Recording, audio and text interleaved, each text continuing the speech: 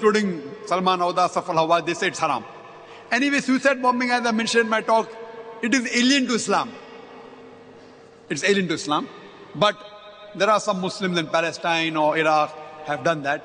But they say if it is used as a strategy, as a last resort, when many of the Muslims are being killed and they want to see to it that instead men they die alone, they will kill some other people and the main intention is to cause loss. As a strategy, some of the scholars say that it can be used. And as I mentioned in my talk, that in Iraq, suicide bombing wasn't there until USA came to Iraq.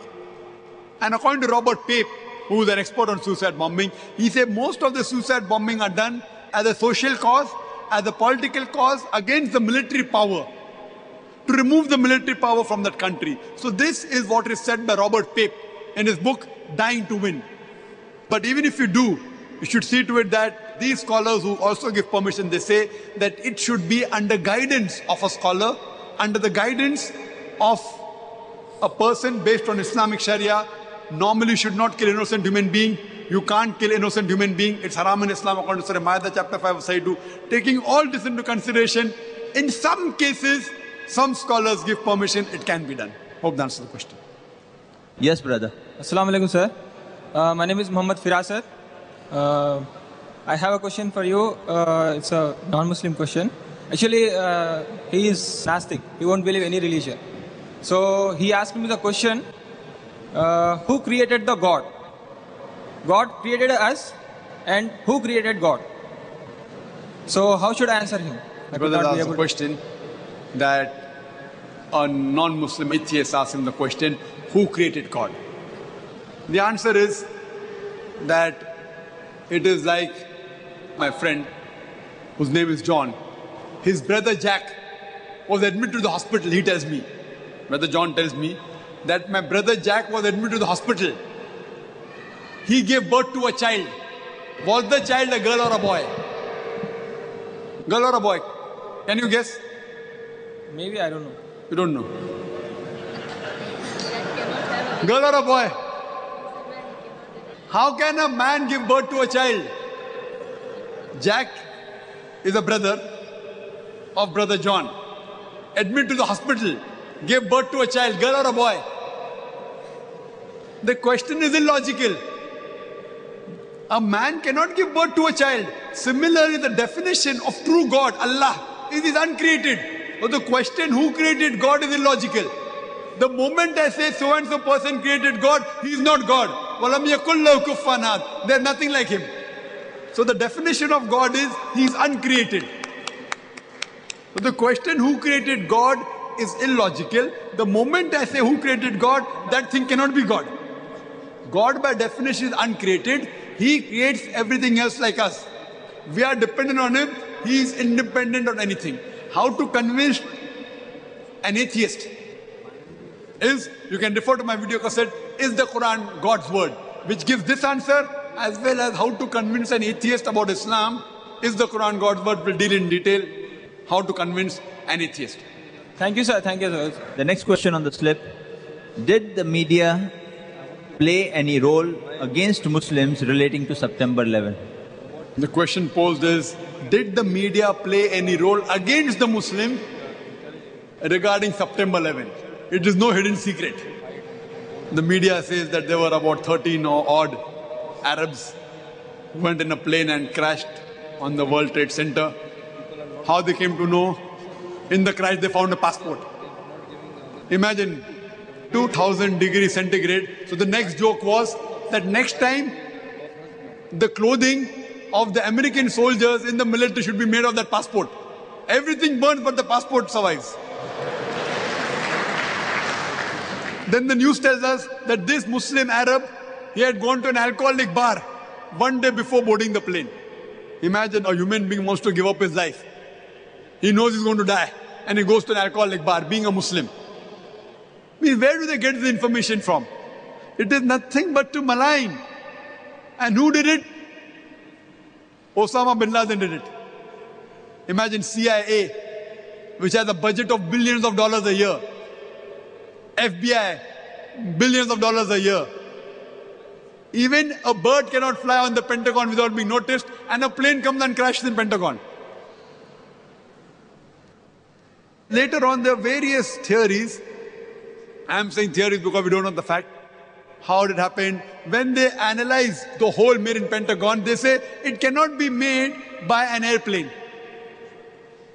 So all these are just to malign the Muslims.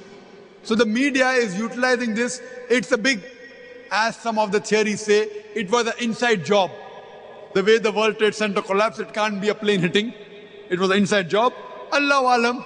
But whatever happened, however much they try to attack Islam, makaru makarallah wallahu khairul makirin. They planned and plotted Allah to plan. Allah is the best to plan. And Alhamdulillah, in spite of this, the media attacking Islam, yet today, Islam is the fastest growing religion in the world, including America and Europe. Yes, sister.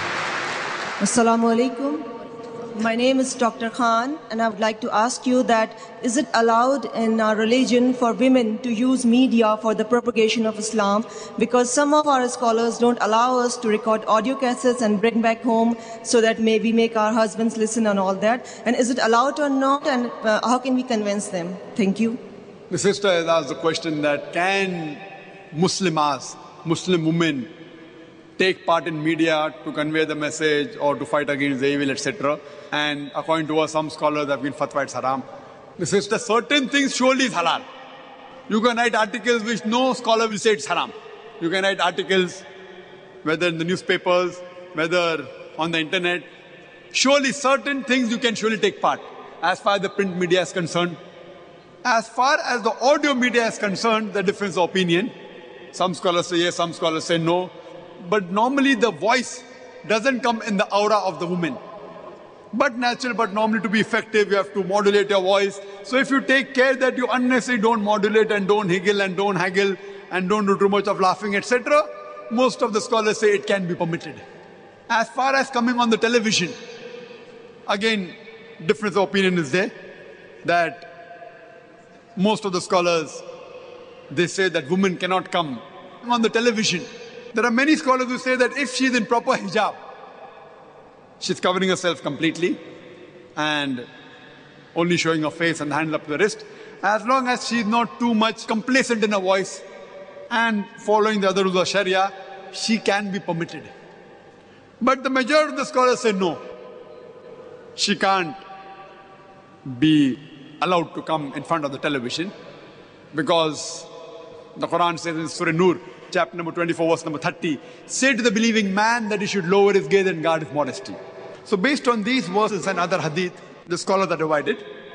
But recently, last year, the top Salaf scholars, Salafi scholars, like Sheikh Nasr al-Awad, out in Saudi Arabia and of shock, that he also gave permission that a woman, if she's properly dressed, even though she's not in niqab, because niqab is not a fard in Islam. Though some scholars say yes, but according to Sheikh Nasiruddin Albani, etc., niqab covering the face is not fard in Islam. But today, many scholars, not majority, yet there are few. In numbers, there are many, but in percentage, there are few. Good scholars have given the fatwa, like Sheikh Nasr al Awad in Saudi Arabia, that because of the media, we should permit women to come in the television. But even today, the opinion is divided. Majority of the scholars today say that yet a woman should not come on the television because it would be against the verse of the Quran, Surah Nur, chapter 24, verse number 30, where a man is supposed to lower the gaze. So if she comes on the television, there are na-mahram watching the television, so she cannot come. So the opinion is divided, sister. Whichever you feel is more closer, you can take your choice. Hope that answers the question. The next question on the slip, Brother Rahmatullah.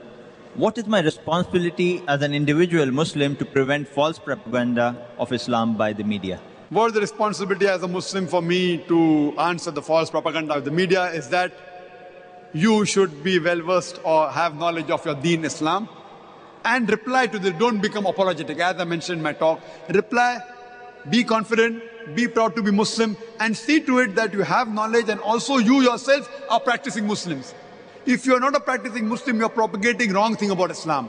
So first, you yourself practice what Islam has preached in the Quran, and the Sahih Hadith, and whatever your non-Muslim friends pose questions, if you don't know the answer, Quran says ask the